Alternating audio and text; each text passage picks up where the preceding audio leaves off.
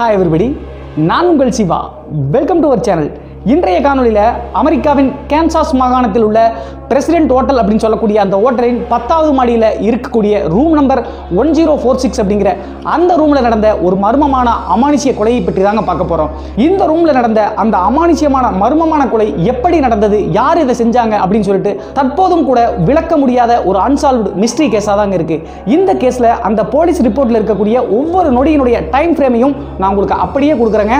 இந்த கொலையை பற்றிய ஒவ்வொரு நொடி அமானுஷிய நிகழ்வுகளும் உங்களுக்கு திக் திக்னு திகிலோட தாங்க இருக்கும். அந்த கொலையில் நடந்த அமானுஷ்ய நிகழ்வுகளும் ஒவ்வொரு திகில் நொடிகளையும் நீங்க பார்க்கணும் அப்படின்னா இந்த கொலையில நீங்களும் ஒரு முக்கியமான கேரக்டரா இமேஜினேஷன் பண்ணிட்டு கூடவே சேர்ந்து பயணிச்சீங்க அப்படின்னா இந்த கொலையை பற்றிய அன்சால்வ்டு மிஸ்ட்ரி என்ன? இந்த கொலையில என்ன நடந்திருக்கலாம்? யார் இது செஞ்சிருக்கலாம்? அப்படின்னு சொல்லிட்டு இதில் இருக்கக்கூடிய ஒவ்வொரு திக் திக் நொடிகளையும் நீங்க உணர முடியுங்க.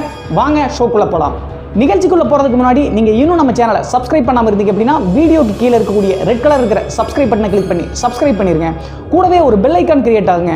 அதை கிளிக் பண்ணுங்கள் அதில் மூணு ஆப்ஷன் வரும். அதில் ஆல் அப்படிங்கிற ஆப்ஷனை செலக்ட் பண்ணிட்டீங்கன்னா நாங்கள் அப்டேட் பண்ணுற எல்லா வீடியோக்களும் உங்களுக்கு உடனுக்குடன் மறக்காமல் வந்து சேரும். சரி வாங்க ஷோக்குள்ளே போகலாம் ஆயிரத்தி தொள்ளாயிரத்தி முப்பத்தி ஐந்தாம் வருடம் ஜனவரி இரண்டாம் தேதி அமெரிக்காவின் கேன்சாஸ் மாகாணத்தில் இருக்கக்கூடிய பிரசிடென்ட் ஹோட்டல் அப்படின்னு சொல்லக்கூடிய ஒரு ஃபைவ் ஸ்டார் ஹோட்டலில் மதியம் ஒன்றரை மணி டைமில் ஒரு மிடில் ஏஜ்டு மேன் ஹோட்டலில் ரூம் வேணும் அப்படின்னு சொல்லிட்டு ரிசப்ஷனில் வந்து கேட்டு நிற்கிறாருங்க அவரை பார்க்கும்போது கொஞ்சம் வித்தியாசமாக இருக்காருங்க. அவர் பயங்கரமான ஒரு பிஸ்னஸ் ஸ்போர்ட் ஷூட் போட்ட மாதிரி ஒரு நபர்.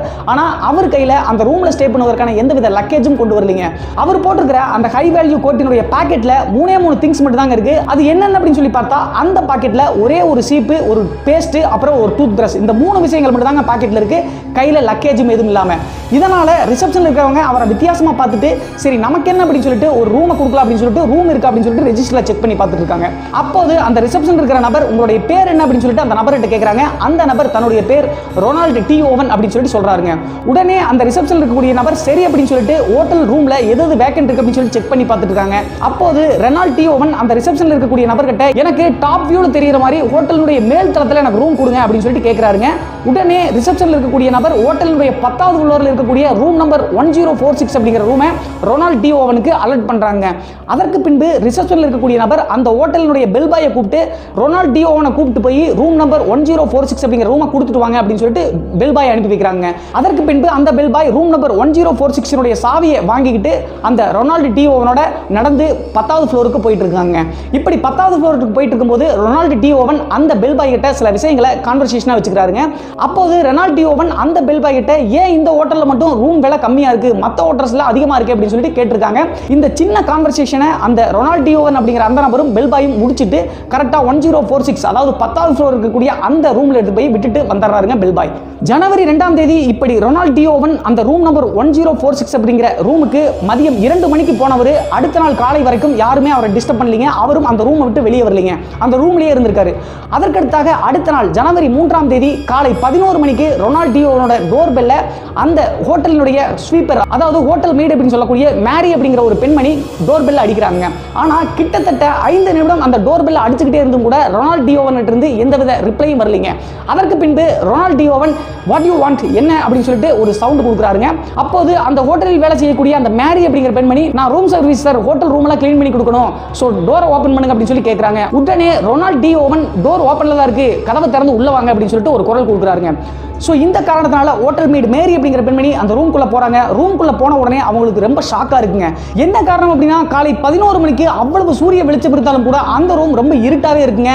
அதற்கான ரீசன் இந்த ரொனால்ட் டி ஓவன் அந்த ரூமினுடைய ஜன்னல்கள் அனைத்தையும் ஸ்க்ரீன் மூலியமாக ஃபுல்லாக மூடிட்டு எப்படி ஹோட்டலுக்கு வரும்போது அந்த கோட் ஷூட் அப்படிங்கிற அந்த கெட்டப்பில் இருந்தாரோ அதே கெட்டப்பில் அந்த ரூமில் இருக்கக்கூடிய ஒரு மூலையில் லைட் லேம்ப் ஆன் பண்ணி அந்த இடத்துல ஒரு சேரை போட்டு இந்த லைட் லேம்ப் ஃபேஸில் அடிக்கிற மாதிரி மட்டும் பார்த்துட்டு உட்காந்துருக்காருங்க எதுவுமே பேசாம. இதை பார்த்த அந்த ஹோட்டலினுடைய மேரி அப்படிங்கிற பணிப்பெண் ரூம் ஃபுல்லா பார்த்துருக்காங்க.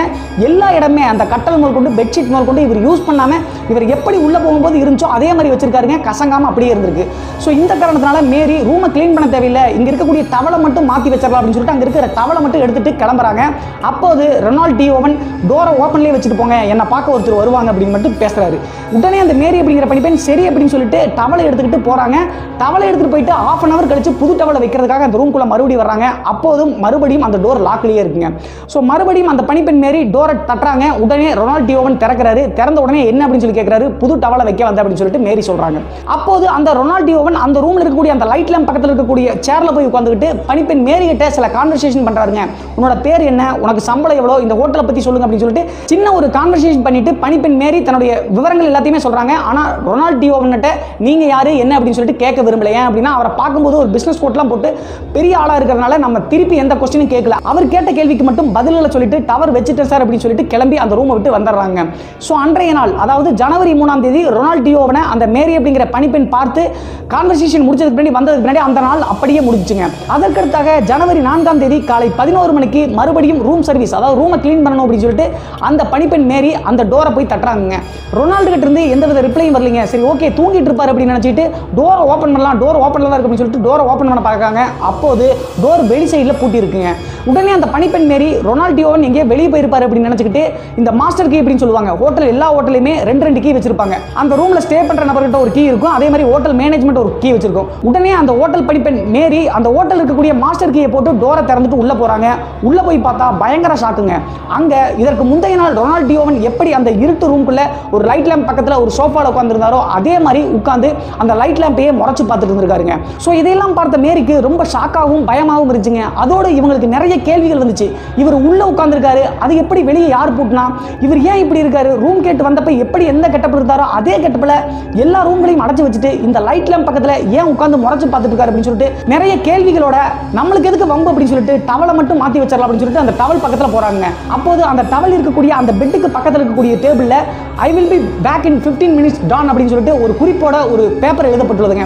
அந்த பேப்பரில் இருக்கக்கூடிய வாக்கியங்களை படித்து பார்த்துட்டு டவலை எடுத்துட்டு வந்துடலாம் அப்படின்னு சொல்லிட்டு பழைய டவலை எடுத்துட்டு அந்த ரூம்ல இருந்து கிளம்பி போறாங்க ரூம்ல இருந்து அந்த பழைய டவலை எடுத்துட்டு போயிட்டு புது டவலை எடுத்துட்டு வரதுக்குள்ள மறுபடியும் அந்த ஒன் ஜீரோ ஃபோர் சிக்ஸ் அப்படிங்கிற ரூமினுடைய கதவு சாத்தப்பட்டிருக்குங்க. உடனே அந்த கதவை திறக்கலாம் அப்படின்னு சொல்லிட்டு பக்கத்தில் போகும்போது அந்த ரூம்குள்ள ரெண்டு பேர் பேசிக்கிற மாதிரி ஒரு கான்வர்சேஷன் நடந்திருக்குங்க. ரொம்ப ஒரு ஹீட்டட் ஆர்குமெண்ட் அப்படின்னு சொல்லுவாங்க இல்லையா? ரெண்டு பேர் வாக்குவாதம் செஞ்சுட்டு இருக்க மாதிரி பயங்கர சத்தமா இருந்திருக்கு. ஸோ இந்த காரணத்தினால பயத்தோடவே யாரோ உள்ளே வந்திருக்காங்க ரெண்டு பேர் சண்டை போட்டிருக்காங்க அப்படின்னு சொல்லிட்டு திறக்கலாமா வேண்டாமா அப்படின்னு சொல்லிட்டு யோசிச்சுட்டு கடைசியாக டோரை தட்டுறாங்க. உடனே ரொனால்டியோவன் கதவை திறக்காமையே உனக்கு என்ன வேணும்? சொல்லு அப்படின்னு சொல்லிட்டு கத்துறாருங்க. இந்த காரணத்தினால பணிப்பெண் மாரி இல்லை சார் புது டவலை வைக்க வந்திருக்கேன் அப்படின்னு சொல்லிட்டு சொல்லியிருக்காங்க. எனக்கு டவல்லாம் தேவையில்லை. இங்கேயே இருக்கு. என்ன தொந்தரவு பண்ணாதீங்க. வெளியே போங்க அப்படின்னு சொல்லிட்டு கத்துறாரு. உடனே பணிப்பெண் மாரி டவலை வைக்காம டோரை திறக்காமையே அந்த இடத்த விட்டு வந்துடுறாங்க. ஜனவரி நான்காம் தேதி இந்த சம்பவம் நடந்ததுக்கு பின்பு அன்றைய மாலை ஆறு மணிக்கு அந்த ரூமினுடைய பக்கத்து அறை ஒன் ஜீரோ ஃபோர் எயிட் ஒரு பெண்மணி புக் பண்ணி அந்த இரவு அங்க ஸ்டே பண்ணிருக்காங்க. அப்படி அன்றைய நாள் இரவு அந்த பக்கத்து ரூம்ல ஸ்டே பண்ண பெண்மணி ஒரு விலை மாதுங்க.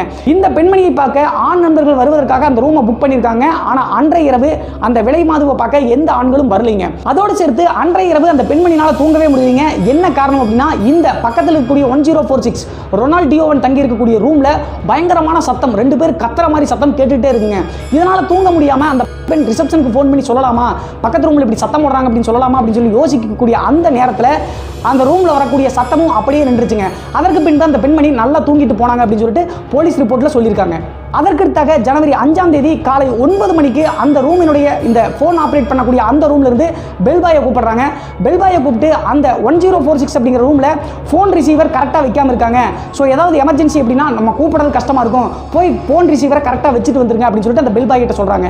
இந்த பெல்பாய் கஷ்டப்பட்டு அந்த பத்தாவது ஃப்ளோருக்கு போயிட்டு ஒன் ஜீரோ ஃபோர் சிக்ஸ் ரூமை திறக்கிறாங்க. திறந்து பார்க்கும்போது எப்போதும் போல அந்த ரூமுடைய ஜன்னல் ஸ்க்ரீன் எல்லாமே ஃபுல்லாக க்ளோஸ் பண்ணி அந்த ரொனால்டியோவன் அப்படிங்கிற அந்த நபர் கோட் சூட்டையெல்லாம் எல்லாம் கழட்டி வச்சுட்டு நிர்வாண அரை நிர்வாண கோலத்தில் அந்த பெட்டில் படுத்திருக்காருங்க. இதையெல்லாம் பார்த்து அந்த பில் பாய் ஒருவேளை போதையில் இருப்பாரோ அப்படின்னு நினச்சிட்டு ஃபோன் ரிசீவரை மட்டும் கரெக்டாக வச்சிடலாம் அப்படின்னு சொல்லிட்டு வச்சுட்டு அந்த ரூம் விட்டு கிளம்பி வந்துடுறாங்க. இப்படி அந்த பில் பாய் ஃபோன் ரிசீவரை கரெக்டாக வச்சுட்டு வந்த மறுபடியும் ஒரு பத்து நிமிஷத்தில் அந்த ரிசப்ஷன் அதாவது அந்த ஃபோன் ஆப்ரேட் பண்ணக்கூடிய அந்த ஆப்ரேட்டர் மறுபடியும் அந்த பில் பாயை கூப்பிட்டு சத்தம் போடுறாங்க. நீ வச்சே இல்லையா? ஃபோன் ரிசீவர் மறுபடியும் வைக்காமல் அப்படியே தான் இருக்குது அப்படின்னு சொல்லி திட்டுறாங்க. உடனே பில் பாய் நான் கரெக்டாக தான் சார் வச்சுட்டு வந்தேன். மறுபடியும் வேணால் ஃபோன் ரிசீவரை கரெக்டாக வச்சுட்டு வரேன் அப்படின்னு சொல்லிட்டு அந்த பத்தாவது ஃப்ளோர் இருக்கக்கூடிய ஒன் ஜீரோ ஃபோர் சிக்ஸ் அப்படிங்கிற அந்த ரூம் கதவுக்கு பக்கத்தில் போறாருங்க. ரூம் கதவை திறந்த அந்த பில் பாய்க்கு பயங்கர ஷாக்குங்க என்ன நடந்துச்சு அப்படின்னு சொல்லி பார்த்தா அந்த ரூமினுடைய ஒரு மூலையில் அந்த லைட் லேம்ப் பக்கத்தில் ஒரு சோஃபா இருக்கு அப்படின்னு சொன்னோம் இல்லையா? அந்த சோஃபாவில் இந்த ரொனால்ட் டியோவன் அப்படிங்கிற நபர் அவருடைய தலையை வெட்டி கையில் வச்ச மாதிரி உட்கார்ந்த ஷேப்பில் அப்படியே உட்கார்ந்துருக்காருங்க. ரத்த வெள்ளம் ஃபுல்லா அந்த ரூமில் இருந்திருக்கு. இதை பார்த்த பில் பாய் மிரண்டு அந்த ஹோட்டல் மேனேஜர்கிட்ட இன்ஃபார்ம் பண்றாரு. ஹோட்டல் மேனேஜர் போலீஸ்க்கு இன்ஃபார்ம் பண்றாங்க. போலீஸ் உள்ள வந்து அந்த ரூம் ஃபுல்லா செக் பண்ணி பார்த்துருக்காங்க. அப்போது அந்த ரொனால்ட் டியோவன் அரை நிர்வாண கோலத்தில் உட்காந்துருக்கிறது மட்டும்தாங்க இருக்கு. அவர் வச்சிருந்த அந்த டூத் பேஸ்ட் சீப்பு எதுவுமே அந்த paper I will be back in 15 minutes அப்படின்னு சொல்லிட்டு பேப்பர் எழுதி வச்சிருந்தாங்க இல்லையா? அந்த பேப்பர்களை கொண்டு அந்த ரூம்ல எதுவுமே இல்லைங்க. அதற்கு பின்பு தடையவியல் துறை நிபுணர்களை கூப்பிட்டு வந்து செக் பண்ணி பார்க்கும்போது அந்த ரூம் ஃபுல்லா ரொனால்டியோனுடைய கைரேகை மட்டும்தாங்க இருக்கு. புதிய ஒரு நபர் வந்துட்டு போவதற்கான எந்தவித அடையாளங்களும் கிடைக்கலைங்க. இந்த காரணத்தினால காவல்துறை கன்ஃபியூஸ் ஆகி இந்த ரொனால்டியோவன் யாரு? இவர் ஏன் இங்க ரூம் எடுத்து ஸ்டே பண்ணாரு? அப்படின்னு சொல்லிட்டு தேவையான அளவுக்கு இன்வெஸ்டிகேஷன் பண்ணி கூட அந்த ரொனால்டியோவன் அப்படிங்கிற நபரை பற்றியும் அவரை யார் கொன்னாங்க அப்படிங்கிற அந்த தகவலும் காவல்துறைக்கு கிடைக்கவே இல்லைங்க இந்த காரணத்தினால காவல்துறை இந்த ரொனால்டியோவரை பற்றி தகவலை தெரிய வைக்கணும் அப்படிங்கிறதுக்காக நியூஸ் பேப்பர்ல விளம்பரம் கொடுக்குறாங்க. இவர் யாரு? இந்த இடத்துல இறந்து கிடக்குறாரு. இவரை யாருக்காவது தெரியுமா அப்படின்னு சொல்லிட்டு நியூஸ் பேப்பரில் தகவல் கொடுக்குறாங்க. அந்த நியூஸ் பேப்பரை படித்து பார்த்து அடுத்த நாள் காலையில் அந்த ஹோட்டலுடைய கிட்டத்தட்ட ஒரு கிலோமீட்டர் தொலைவில் இன்னொரு ஹோட்டல் வந்து காவல்துறைக்கு ஃபோன் வருதுங்க. இந்த நபர் ரெண்டு நாட்களுக்கு முன்னாடி எங்க ஹோட்டலில் ஸ்டே பண்ணியிருந்தார் அப்படின்னு சொல்லிட்டு அந்த ரெஜிஸ்டர் செக் பண்ணி பார்க்கும்போது அங்கே இந்த ரெனால்டு டியோவன் பேரை வேற மாதிரி கொடுத்துருக்காருங்க. இந்த ரொனால்டியோவன் அப்படிங்கிற பேரை கொடுக்கலீங்க வேற ஏதோ ஒரு பேரை கொடுத்துருக்காரு.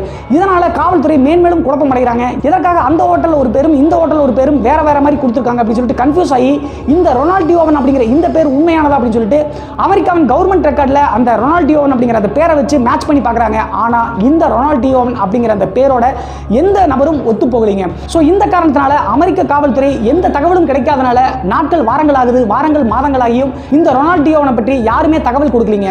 ஸோ இந்த காரணத்தினால காவல்துறை ரொம்ப நாளைக்கு இந்த பாடியை இப்படியே வச்சிருக்க முடியாது அப்படின்னு சொல்லிட்டு நம்மளே தகனம் செஞ்சிடலாம் அப்படின்னு சொல்லிட்டு ஒரு முடிவு எடுக்கிறாங்க. அப்படி அந்த ரொனால்டியோவனை தகனம் செய்வதற்காக அந்த பாடியை வெளியெடுக்கும் கிட்டத்தட்ட ஒரு மணி நேரத்துக்கு முன்னாடி அந்த காவல்துறைக்கு ஒரு ஃபோன் கால் வருதுங்க. அந்த ஃபோன் காலில் இந்த ரொனால்டியோவன் சாதாரண நபர் கிடையாது. ஸோ தகனம் சாதாரணமாக செஞ்சிடாதீங்க. இவருக்கு நிறைய பணங்களும் நாங்களும் வர்றோம் அப்படின்னு சொல்லிட்டு ஒரு ஃபோன் கால் வருதுங்க. அது வரைக்கும் வெயிட் பண்ணுங்க அப்படின்னு சொல்லிட்டு அந்த காவல்துறைக்கு இன்ஃபார்ம் பண்ணுறாங்க காவல்துறை உங்களுடைய பேர் மற்றும் முகவரி என்ன அப்படின்னு சொல்லி கேட்கறதுக்குள்ள அந்த ஃபோன் பண்ண நபர் கட் பண்ணிடுறாருங்க. ஸோ இந்த காரணம் காரணத்தினால காவல்துறை எப்படியும் வரதான் போறாங்க. அவங்க வந்தா இந்த ரொனால்டியோவன் யார் அப்படின்னு சொல்லிட்டு சில தகவல்களை தெரிஞ்சுக்கலாம் அப்படின்னு சொல்லிட்டு வெயிட் பண்ணிட்டே இருக்காங்க. ஆனா கிட்டத்தட்ட ஒரு மணி நேரம் கழிச்சு அந்த காவல்துறைக்கு ஒரு பொக்கே மற்றும் அந்த பொக்கேல ஒரு லெட்டர் மற்றும் நிறைய பணத்தோடு ஒரு நபர் ஒரு இளைஞன் வந்து நிற்கிறாங்க நான் பொக்கே கொண்டு வந்து கொடுக்கறதாங்க என்னோட வேலை. நான் இங்க வேலை செய்கிறேன் இதை வந்து புக் பண்ணது யாரு அப்படின்னு சொல்லி தெரியல அப்படின்னு சொல்லிட்டு அந்த தகவலை எல்லாம் சேகரிச்சு யார் புக் பண்ணா அப்படின்னு சொல்லிட்டு விசாரிக்கும் போது கடைசியாக வந்து பாத்தீங்கன்னா ஒரு போலியான அட்ரஸை வச்சு ஒரு போலியான பேரை வச்சு தாங்க அந்த பணத்தையும் இதையும் கொடுத்துருக்காங்க. ஸோ கடைசி வரைக்கும் அந்த பொக்கே மற்றும் பணத்தை கொடுத்து விட்டது யார் அப்படின்னு சொல்லி தெரியலீங்க. சரி ஓகே அப்படின்னு சொல்லிட்டு அந்த பொக்கே எடுத்து பார்த்தா அந்த பொக்கையில் ஒரு லெட்டர் இருக்குங்க. அந்த லெட்டர்ல என்ன எழுதியிருக்கு அப்படின்னா rest in peace love with Lucy அப்படின்னு எழுதியிருக்கு. இந்த லூசி அப்படிங்கிற நபர் யார் அப்படின்னு சொல்லிட்டு செக் பண்ணி பார்த்தா அதற்கான தகவல்களையும் போலீஸ்னால கண்டே பிடிக்கலீங்க கடைசியாக காவல்துறை வேற வழி இல்லாம அந்த உடலை எடுத்துட்டு போய் தகனம் செஞ்சிடறாங்க. இப்போது வரைக்கும் அமெரிக்காவின் கேன்சாஸ் மாகாணத்தில் உள்ள அந்த பிரசிடென்சி ஹோட்டல் இருக்கக்கூடிய room number one zero four சிக்ஸ்ல நடந்த மர்மம் என்ன? அந்த கொலையை செய்தது யார்? கொல்லப்பட்ட நபரினுடைய உண்மையான பேர் ரொனால்ட் டியோவன் தானா அல்லது வேற யாராவதா? அப்படின்னு சொல்லக்கூடிய எந்தவித தகவல்களும் போலீஸ்னால தீர்க்க முடியாத ஒரு மர்மமான அன்சால்வ்டு மிஸ்ட்ரி கேஸாக தாங்க இருக்கு. ஸோ இந்த வழக்கை பற்றிய டைம் ஃப்ரேம்ஸை அப்படியே உங்கள்கிட்ட சொல்லிட்டேங்க. இந்த கொலையை செய்தது யார்? கொல்லப்பட்டது உண்மையிலேயே ரொனால்ட் வந்தானா? அல்லது போலியான பெயராக இருக்கலாமா? யார் கொண்டிருப்பாங்க அப்படின்னு சொல்லிட்டு உங்களுக்கு ஏதாவது பதில்கள் இருந்துச்சு அப்படின்னா கமெண்ட் பாக்ஸில் தாராளமாக கமெண்ட் பண்ணுங்கள் இன்றைய காணொலி உங்களுக்கு சுவாரஸ்யமாகவும் த்ரில்லிங்காகவும் இருந்துச்சு அப்படின்னு நினச்சிங்க அப்படின்னா மறக்காம காணொலி கீழே லைக் பட்டனை தட்டி விட்டு எல்லாத்துக்கும் ஷேர் பண்ணுங்க. ஏன்னா நீங்கள் பர்சனலாக ஃபாலோ பண்ணணும் அப்படின்னு நினச்சிங்க அப்படின்னா வீடியோக்கு கீழே இருக்கக்கூடிய டிஸ்கிரிப்ஷனில் சோசியல் மீடியாஸோட லிங்க் கொடுத்துருக்கேன். அதில் இன்ஸ்டாகிராம் ஃபேஸ்புக் டெலகிராம் எல்லா லிங்க்குமே இருக்கும். அதில் ஜாயின் பண்ணி நீங்கள் என்னை ஃபாலோ பண்ணிக்கலாம். இது போன்ற மர்மமான சுவாரஸ்யமான விஷயங்களை நீங்கள் மேன்மேலும் தெரிஞ்சுக்கணும் அப்படின்னா நம்ம சேனலை மறக்காமல் சப்ஸ்கிரைப் பண்ணிடுங்க மீண்டும் ஒரு நல்ல தகவலுடன் சுவாரஸ்யமான தகவலுடன் உங்களை சந்திக்கும் வரை நான் உங்கள் சிவா.